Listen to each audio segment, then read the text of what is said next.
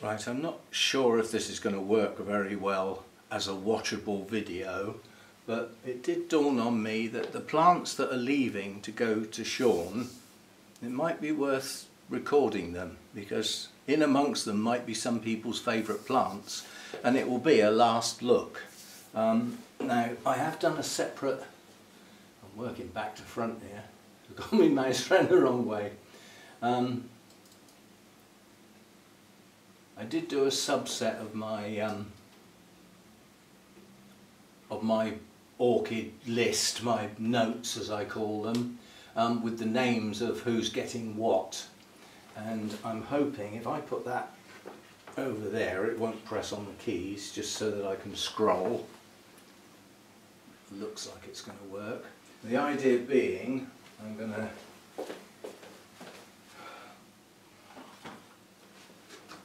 Going to use this and hopefully this is big enough to put all the plants in. Now the plants that are in here um, I need to get out of the way so I'm hoping they'll all just fit down here on my watering table. They're all small pots, they should fit on there okay. And then this will do to transport the plants. If they'll all go in there, if not I'll need something extra like a box or something. But the idea is to try and find all the plants on the list. Right, first one, bulbophyllum. I know exactly where that is. That's there. Um, this is just coming back into growth. It's got new growth coming out all over it. So, uh, so you've got new growths showing in many places. So uh, that's that'll be fine. Yeah, that'll be fine. Um, next we've got the Pachycephalum. So this is the hard bit, is I've got to find them. Which I thought might be a bit of fun. It's me struggling to try and find where the hell I put them. Now I'm pretty sure that one's over here somewhere. But where? That's the question. Um, what's that one tucked in Is that it? We're doing bending again, aren't we? We shouldn't be. Oh, mind you, there aren't many down at ground level. Well, that isn't the one, but I think it's one that is on his list.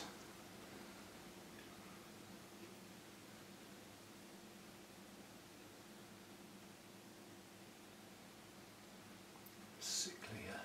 Is that on his list?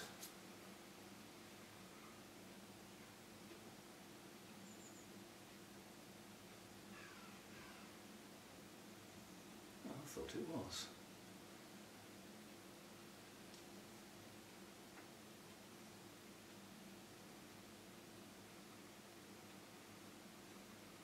Oh, perhaps not.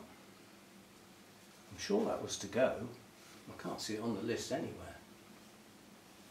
I'll put that to one side and go down to the next one, um, which is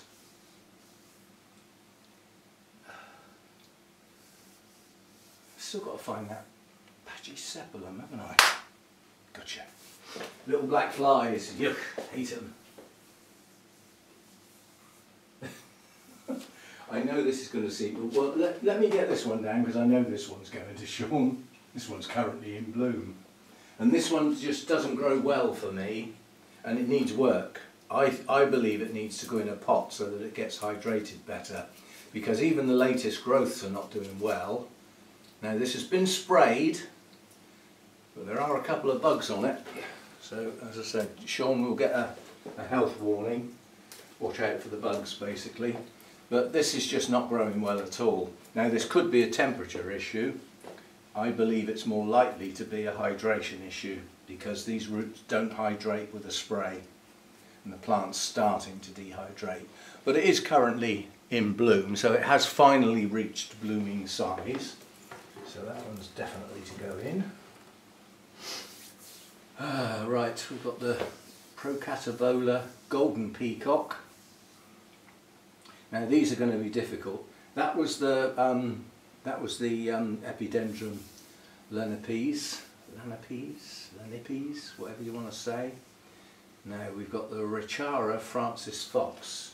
Now, I don't know which one that is. I really don't know. All I know is that it's one of the Cattleya types that's not doing very well and it won't have a label. So what I'm going to do, that I believe is one of them and deep down in there is a lovely strong new growth. So although this looks a mess, it did push a new growth up with a failed sheath and um, it is a Cattleya type so it will have some scale on it. Been sprayed, I don't mean to say they're all dead and it's currently in moss and bark and it could probably do with going in something else. And then the other one, which is highly likely to be the same thing, is this one. They were both potted up the same way and I believe that's those two. So that's that. I suppose I ought to tick these off or do something to say I found them, hadn't I? I'll just put the colour code in there. That's the easiest thing. I fill that in with, um, uh, what should we use? Well, we've used yellow and green, so perhaps we ought to use, my mouse is going mad here. Um, we'll use red. Red says I've done it, basically. And then I can just do a control and C. Can I do control and C? Can I get at the C? Go away. What's wrong with this mouse? Oh, it's got a twist in it, that's what it is, right. That's better. And then we can just, wherever the, oh dear, oh dear. This is just silly.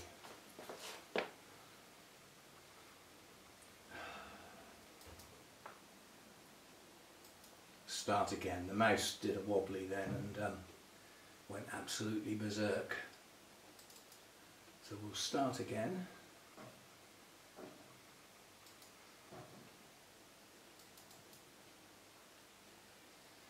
Oh, come on, don't mess me about. Right, it's bulbophyllum. We will colour code that with red Control and C, and then I can just do Control and V. So what else have we got then? We've done the Francis Fox, so that's done. And we've done the Lanipi, Lanipes, we've done that one. Right, we've got a Restrepia, and it's a big one, one of the big ones. So we'll have to move some stuff. And this is the one that doesn't bloom very often for me, and it has trouble hydrating. Lot of that is um, used to probably be the heat. Um,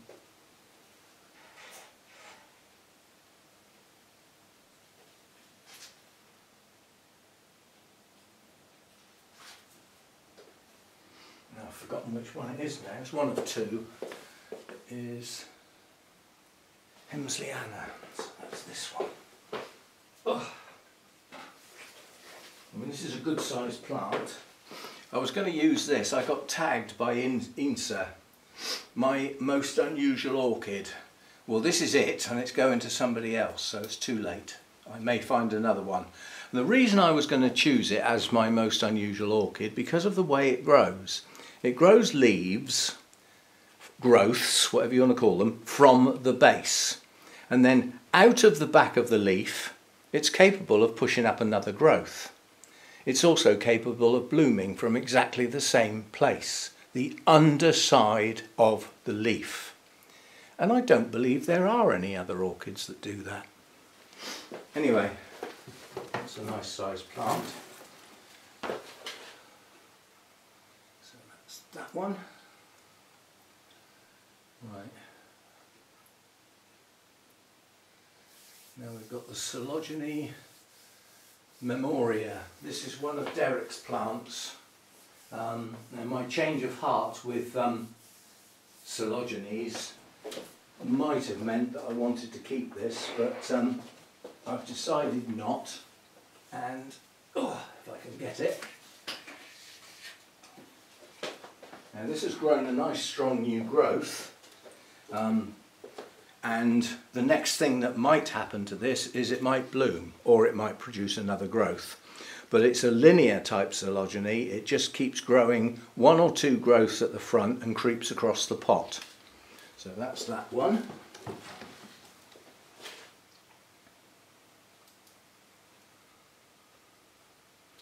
Right, now Sean put down that he wants all of my Tolumnias. I've now got to make a decision, do I pass them on to somebody else? I'm not keeping them, so they're either going to Sean or going in the bin. And out of that big long list in the notes, there's only three left. And that might even be classed as only two left. Because they're in a right state. They have not done well at all this year. Now that one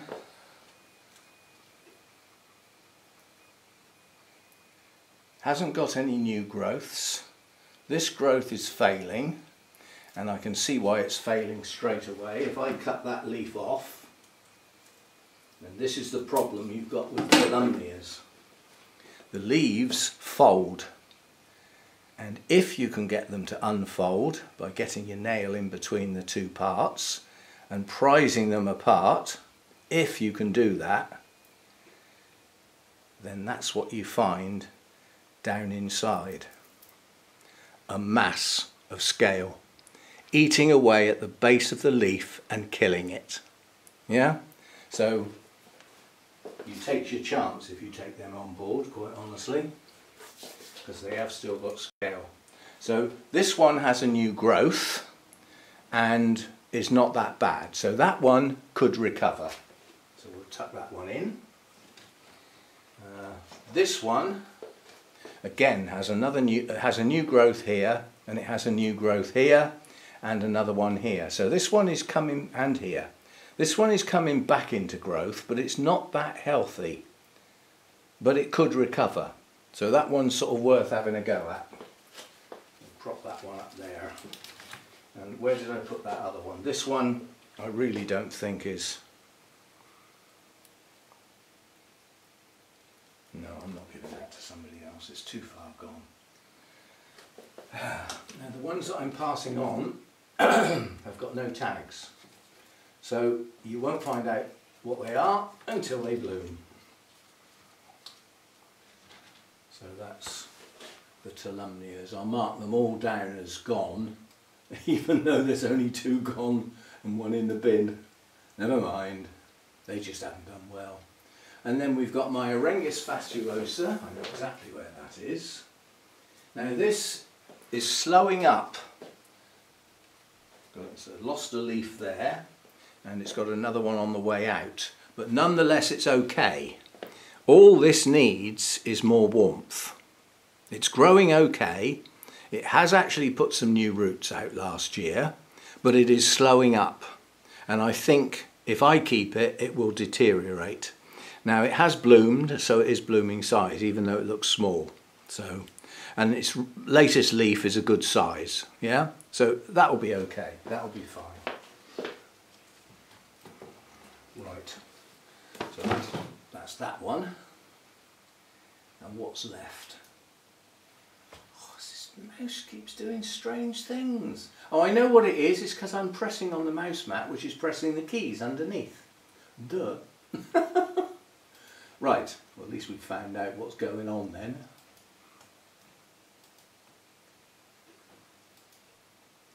Yeah, stop pressing on the mouse mat.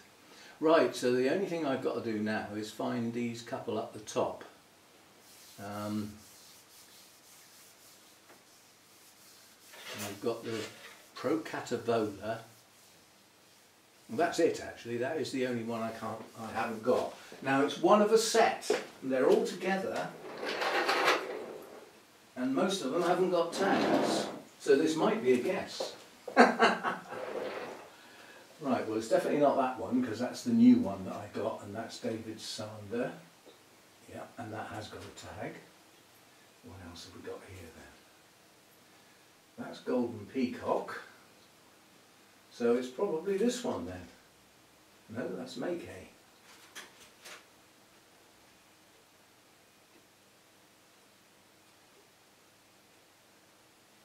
Do you know, I've got a feeling it's one that I've already chucked out because it had gone too far.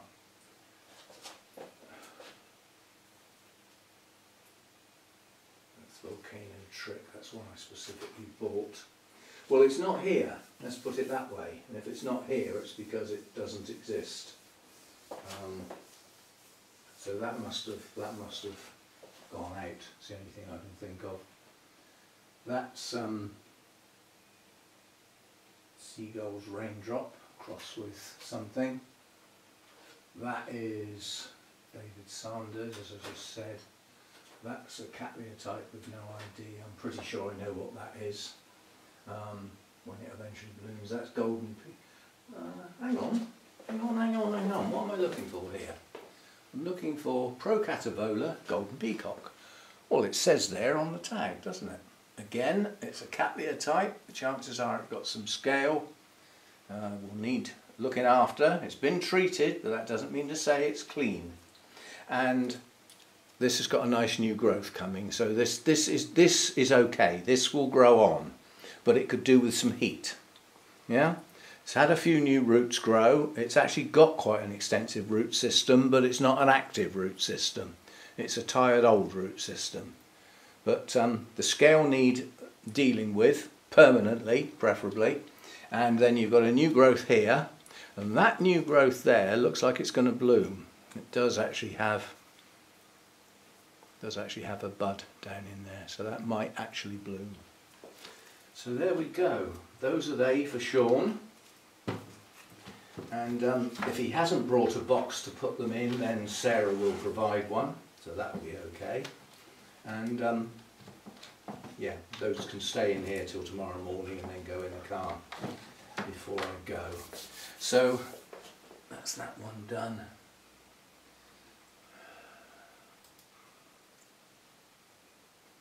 So that's, that's one lot to go. And then all of the rest are to go to Carol, which is a lot. Um, there's a Shelob Tolkien, that's an immature plant. It's what's left of a good plant that's now growing on. And then we've got, oh blimey, there's all sorts in here. Quite a lot of dendrobiums. Um, my Delicatum, Comet King. All of my um, Phalaenopsis type dendrobiums, that's Thai Angel, two spring eclipse, Thailand black. My Dendrobium moniliform doesn't grow well here. Give it to somebody else. Dracuvallia, uh, a couple of Masdevallias, one, two, three, four Masdevallias, one Restrepia, and then there's Miltonias, a Miltoniopsis. I don't think you're getting that one because that went in the bin. Um, and, and some other stuff and including oncidiums. There's a Sharry baby in there, a Nelly Isler, red velvet, um, a Sotoanum, sweet sugar. Uh, there's one of the Rossioglossums because I've got two. This is a big box full. Um, and then I've got um, several that are iffy. They might not be what I think they are, they might be something else. And it's a case of well grow them on get them to bloom and then they'll be identifiable. So uh, quite a lot to go to. A um, couple of phalaenopsis to go. And um, my vasa vixella that just will not grow for me. So all these ones that won't grow for me if somebody else can get them to grow it's a bonus because otherwise they're just going to deteriorate and end up going in the bin so it's got to be worth letting somebody else have a go isn't it it's got to be so there we go so if I get to save that before I corrupt it anymore by pressing right.